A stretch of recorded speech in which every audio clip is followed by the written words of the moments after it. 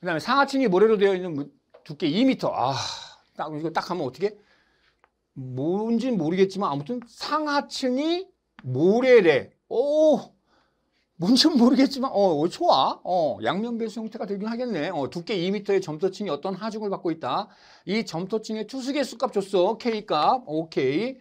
최적 변화계수 MV 값. 아, MV 형태 안 돼 있어도 최적 변화계수 값 줬어. 90%의 안밀. 오케이. T 90을 조건을 줬어. 어, 아, 요구되는 시간. T90 구해주세요. 라고 하는 거네요. 네, 요거는 구해주세요. 라고 하는 문제야. 패턴이야. 얘도 마찬가지로. 어, 얘도 뭐, 뭐, 어떻게 돼요? 뭐 이런 게 아니라 이런 문제의 경우는 패턴이에요. 패턴. 어, 그래서 이제 숫자가 이제 안 좋게 나와요. 왜 안 좋게 나오냐? 1이야, 1. 딱 봐도 1이야. 우리는 초로 구할 거거든. 시간을 초로 구하니까 상당히 큰 시간이 나올 거야. 아니, 초가 나올 거야. 어, 그래도 우리 당황하지 않아. 1로 바꿔주면 되니까. 예. 이거에 대한 형태로 그러면, 그러면 CV는 T90에 아까 말한 TVH의 제곱인데 TV 값은 여기서 줬어. 어, 암기하라고 그랬어. TV는 90이니까 0.848입니다. 이건 여러분들 아셔야 되는 거고 그 다음에 H. H에 대해서 어떻게 2m래. 그러면 2cm로 바꿀 거니까 200 이렇게 쓰면 나 우는 거야. 왜 울어? 나 왜 울어? 왜 울어 내가? 그렇지. 상하면이 모래래. 상하면이 모래래. 위아래가 모래래. 그러면 양면 배수네. 양면 배수니까 그렇지. 그렇지. 2분의 h지. 2분의 h의 제곱이죠. 그렇죠? 예. 이런 데서 딱 덜렁대면 날아가는 거거든. 어, 그러니까 제가 똥글뱅이 쳐놓은 이유가 아차 했을 거 이런 친구들 많아요. 아차. 왜 그러냐?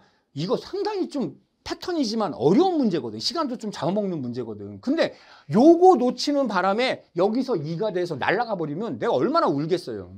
너무 아까운 거야. 그건 그 친구를 혼내는 게 아니라 아, 불쌍한 거지.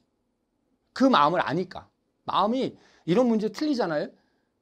제가 예전에 표현했잖아요. 나도 토목기사 볼 때 그 삼각형으로 면적 흙 계산, 최적 계산해서 트럭 대수 구하는 건데 삼각형 면적을 2분의 AB를 안 했다니까. AB로 했다니까. 왜? 시그마 H1, 시그마 H2, 시그마 H3 두 배 시그마 H2 막 그러면 그게 뭐 H1, H, H2, H3, H4 막 이것만 막 그림으로 확인하잖아.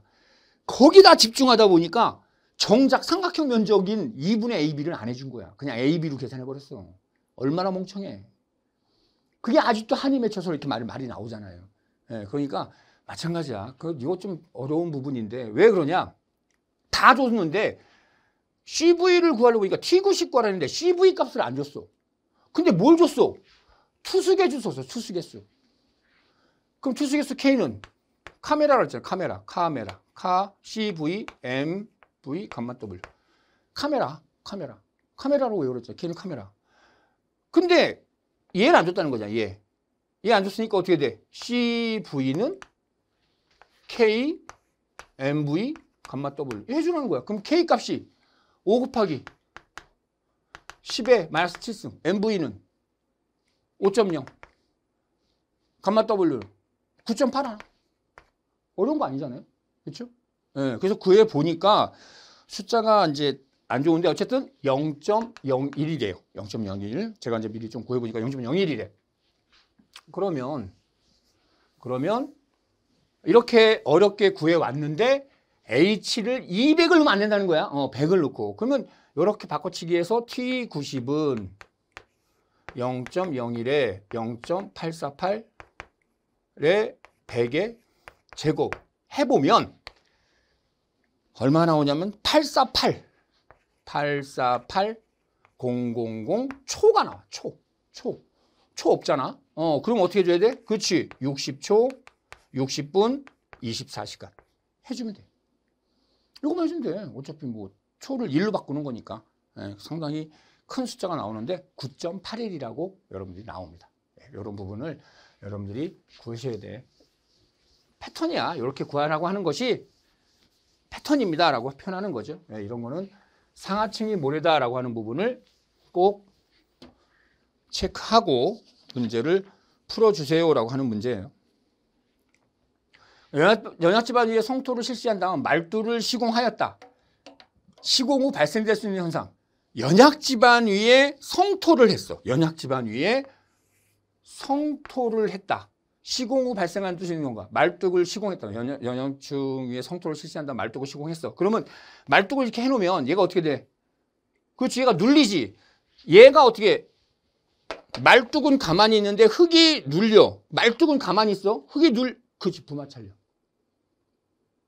부마찰력이잖아. 부마찰력. 그렇지? 부마찰력. 어.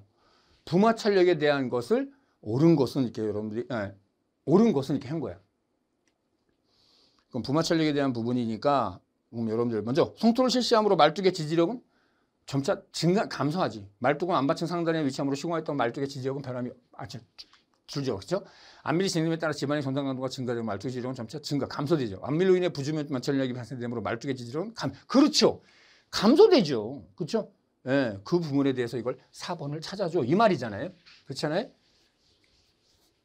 얘도 틀리면 그냥 딱 부마찰력 나오면 되는데 이거 말뚝을 연약 집안에 성토를 했다. 말뚝은 뽑히는 형태가 되는 거예요. 왜 흙이 침하되니까. 음, 말뚝은 가만히 있어. 근데 뽑혀. 부마찰력. 예, 이거에 대한 것을 물어본 문제였습니다.